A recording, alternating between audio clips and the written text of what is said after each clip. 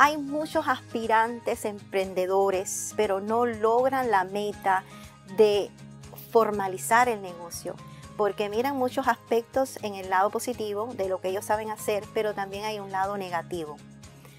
¿Qué me puedes decir de eso?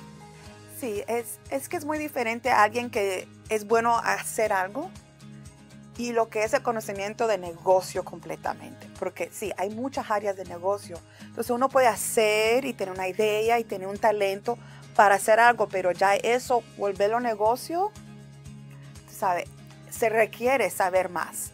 Y abriendo un negocio tiene muchos pasos y a veces uno se siente ahogado con todos los pasos y cómo comienzo, porque hay tanta información ahora. Antes porque no había y ahora porque hay, eso también causa sí, causa eh, el hecho de pensar mucho y de no actuar. Y sí, no saber qué paso dar.